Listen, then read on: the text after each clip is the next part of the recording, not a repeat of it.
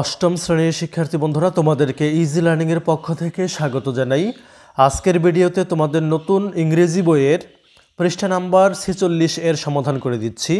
এটা হচ্ছে তোমাদের activity four point one point two এখানে বলছে যে, টেক্সটটি বুঝলাম কি না পরীক্ষা করে দেখি।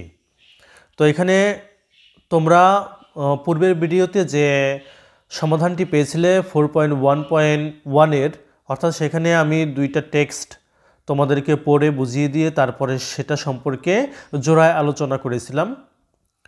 তো সেই টেক্সট দুটি তোমরা বুঝতে পেরেছ কিনা সেটা যাচাই করার জন্য এই শখটি, এই শূন্যস্থানটি দেওয়া হয়েছে।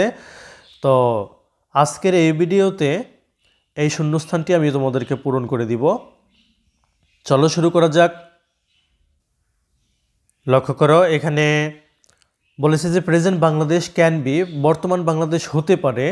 তো এখানে উদাহরণ দিতে পারি আমরা এই নাম্বারে যে example of the progress the women have made in recent years মহিলারা সাম্প্রতিক বছরগুলোতে যে উন্নতি করেছে তার উদাহরণ হতে পারে বর্তমান Bangladesh. It will be clear if we consider the education sector এটা স্পষ্ট হবে যদি আমরা শিক্ষা সেক্টর বিবেচনা করি। বি নাম্বার উত্তরটি হচ্ছে education according to different source in some areas female students are ahead of male students কিছু কিছু এলাকায় মেয়ে শিক্ষার্থীরা ছেলে শিক্ষার্থীদের চেয়ে এগিয়ে আছে। সি নাম্বার উত্তরটি হচ্ছে আমাদের অ্যাহেড তারপর লক্ষ্য করো। Also, women are contributing greatly to the economic progress of Bangladesh এছাড়াও নারীরা বাংলাদেশের অর্থনৈতিক উন্নয়নে ব্যাপক অবদান রাখছে।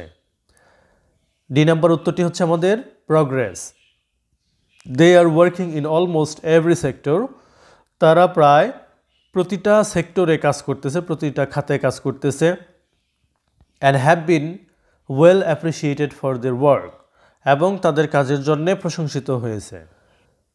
Now it's time to recognize their contribution and inspire women to to participate in building a better Bangladesh.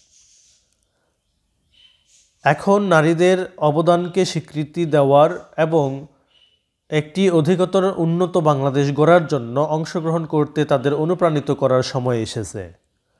তো প্রিয় শিক্ষার্থী বন্ধুরা, যদি ভিডিওটা ভালো লাগে শেয়ার করে দিও। ধন্যবাদ সবাইকে সাথে থাকার জন্য।